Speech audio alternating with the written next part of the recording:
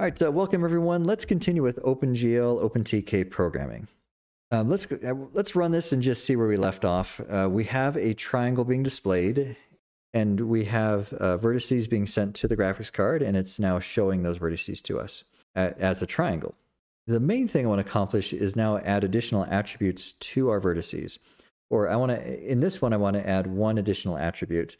Uh, right now we have an attribute of position, so we can define where the position is of the triangle. But now let's define also the color of each vertex of the triangle. And so let's talk about how we add additional attributes to our, um, to our vertices. I'd also like to be able to change different attributes of the window itself, like how big the window is and the title and where it shows up initially. If you notice when we when we run the program, I can stop that and run it it shows up for a second in the top left in its default position and default size, and then it jumps to the new size. And I don't want to do that. I want the window to just show up after it's initialized, it just comes right up as the correct size and the correct position centered on screen. Now let's close this and go back to the code. Before I do that, the very first thing I want to do is I notice that I did not delete the vertex array object in the previous video. So every time we create one of these objects in OpenGL, we need to make sure they're deleted. And so I can scroll down here to our on, uh, unload function.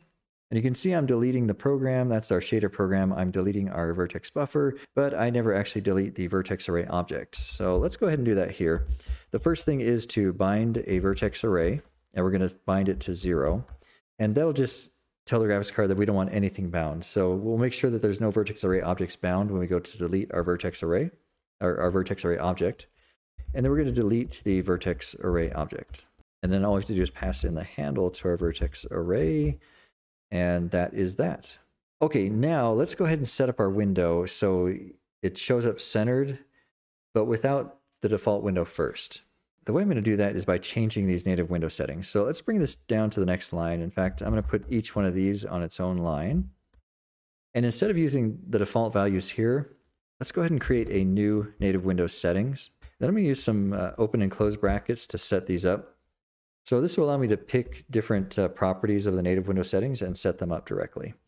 So the first I want to do is the title. So let's go ahead and set that to something.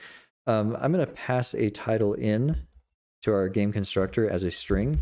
So we'll just pass in the title. And I'm going to give it a default value, and I'm just going to call this game one. So if we don't put anything, it'll just give us that default value. So let's pass the title through right here. Uh, next thing is the size. I want to be able to set the size of our window. I'm going to pass that to our game class as a width and a height. Size is actually a vector 2, so um, or vector 2i, and we'll just pass in the width and the height like so. Uh, next is the border style, or the uh, border of the window. I'm going to make this a fixed border. Uh, next, the visibility. So start visible, I'm going to set that to false. And what that's going to allow is that it won't actually display the window when it's setting everything up. And so that, that little window that pops up at first, that's just the default size and the default uh, position. It won't show that. It'll wait. Uh, we can now wait till we've initialized it, and then we can tell it that it's time to see the window and set it to visible, and then it'll show the correct window. Uh, next, focused. We want to start focus to true. So the API, um, I'm just going to make sure this is OpenGL. We're not going to use OpenGL ES. Uh, next, the profile. I want to set this to the core profile. And then uh, finally, let's set the version. And uh, we've been using 3.3, so I'm going to go ahead and continue with that. So version 3.3. All right, so that's everything we need for the window setting. Now, we're actually setting the width and the height right here inside of our native window settings, and so I don't need to set that inside of our center window function, so I'm going to take that out right there. But I still want the window to be centered, so we're going to center window, and we're going to use the width and height that we passed right here. Okay, so now if we run this, actually the width and the height are not defined. So we'd have to go back to our program and you can see it's giving me an error saying it needs a width and a height. And actually what I'm gonna do is I'm gonna give these some default values. So let's just make this 1280 for the width and the height is going to be 768 okay and just some default values that the window can come up with so the window will be created but it's currently not visible let's go down to the onload function and uh, once it's loaded we're going to tell the window that is visible is now true. So once if, if we wait to set the visibility here to the onload function, it'll only show the window once everything is set up correctly. And so let's go ahead and run that and see what happens. Okay, that looks perfect. Okay, so the window waited to show up once everything was initialized correctly, and you can see the title has changed up here to game one. All right, perfect. Okay, now let's get down to the meat of what we want to talk about here. We want to actually now add some additional vertex attributes. We want to be able to color every vertex. So here's our vertex array. Uh, we have each vertex has an X, a Y, and a Z value. But now we're going to have four more components. Um, and these four components are going to be color components. We're going to have a red component, a green component, a blue component, and an alpha component. And each one of these components is going to be a value between 0 and 1. And so if a red component is has a value of 1, that's going to mean the red component of the pixel is going to be on as bright as it can be. And so, and, and they, they should be in this order. What we need to do is pick an order that we want them to be in, and then we need to stick to that order every time we use it. I'm going to add four floating point values here to every vertex. All right, so the first one, I want the first vertex to be red. So I'm going to set that to 1. Uh, now, the green component is going to be 0, the blue component is going to be 0, and the alpha component is going to be 1. The alpha component of the pixel controls how um, transparent the pixel is. So if I put 1 in there, the pixel is completely, or not the pixel, the vertex is completely opaque, meaning you can't see through it at all. If I put a zero in there for the alpha, that means it is completely transparent, meaning we can see right through that vertex completely. And so you can see now I have four more floating point values that define the color. And I'm going to do that for every vertex. So now here's vertex number, or vertex uh, number two, which is vertex one in our list. The red component is going to be zero. I want this one to be green, so I'm going to set green to one, blue to 0, and alpha to 1. So here's our last vertex in the triangle. Um, the red component is going to be 0, the green component is going to be 0, the blue component is going to be 1 because I want this one to be blue, and then the alpha will be 1 as well. And so there we go. There's our new vertices. And we can pass that to the graphics card through our vertex buffer, and we don't need to change the vertex buffer at all. We are already sending the right size vertex buffer because of this parameter right here. Whatever the length of the vertices or however many items we have, we just multiply that by the size of a floating point and it'll set up a vertex buffer with the correct size to store all of this data. But the one thing we do need to set up is our vertex array object. Um, our graphics card, we can send this data to the graphics card, but the graphics card doesn't understand that we have position and we have color. It only understands that we have position, and that's right here with our vertex attrib pointer. Um, so let's go ahead and set up another vertex attrib pointer that's going to indicate that we have a color component or four color components to our vertex. And so we're just going to right here, after we bind our vertex array object, um, after we set up our first vertex attrib pointer, let's set up the next one. This is going to be a vertex attrib pointer. And this is going to be at index number one. That's how we're going to identify this in our shader. Okay, so in our vertex shader, this is going to be at location number one, and we'll set that up here in just a second. Uh, the next field here is how many components does this attribute have? And you can see we have four components. We have a red, green, uh, blue, and alpha. Okay, so we have four components, and then we have to tell it what type these are. These are floating point values. We do not need to normalize these, so this will be set to false. And normalization, if we are using a type that is not floating point, we can tell the graphics card that we do want to normal, normalize these values. So in other words, if I pass in a byte, or if I tell it that this vertex that this vertex attribute is a byte, then it can take whatever I pass in there and normalize it based on how big the value is compared to a byte.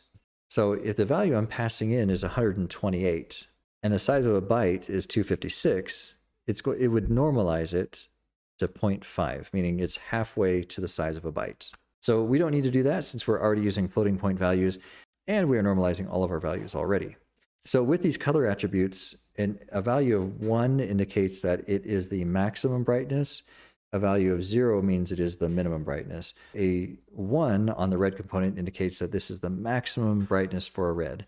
And we can pretty much create any color we want by changing the red, green, and blue component. Now, the next thing inside our vertex attrib pointer here is it wants to know the stride. And the stride is the number of bytes between each vertex. We have seven different floating point values and then we go to the next vertex. And so what we're going to do is 7 times the size of a float, and that'll tell the graphics card how far it needs to advance inside each array to get to the next vertex. And then finally we have the offset. I and the, I think this is the offset anyways. Um, yeah, offset. So the offset tells the graphics card how far do I need to advance inside the actual vertex to get to this attribute. Okay, so in this case, this is the color attribute.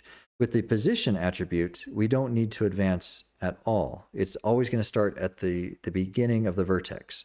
Now, every time we're looking at the color attribute, we need to advance in the vertex to the color portion of the vertex. Okay, since the position has three floating point values, we need to advance by three times the size of float to get to the actual color attribute of this vertex. So that's all we need for the color attribute or the vertex attrib pointer. And then finally, we need to enable the vertex attrib array, and that'll be at uh, index number one. And these values should match. So this index should match this one. Okay, so we've enabled it. Okay, so now our graphics card knows what a vertex looks like. The final thing we need to do is go down to our shader code and tell it and tell our shader code what are you know what does a vertex look like? What what values what values are we passing in for a vertex? After I've set up a position, I'm now going to set up a color. So this is going to be at layout. Um, the location is equal to one, and that's this index right here. We're going to pass in a vector 4 because we have four components. We have the red, green, blue, and alpha. I'm going to call this a color. The vertex shader isn't actually going to do anything with that color. It's just going to pass it on to the uh, pixel shader so the pixel shader can decide what color it needs to be. And so the way we do that is by defining a value that we're going to pass out. And so I'm going to use the out keyword. This is something we're passing out from the vertex shader to the pixel shader. So when I type out, I'm saying pass this value out to the pixel shader. Um, this is going to be a vector 4. And I'm going to call this v color.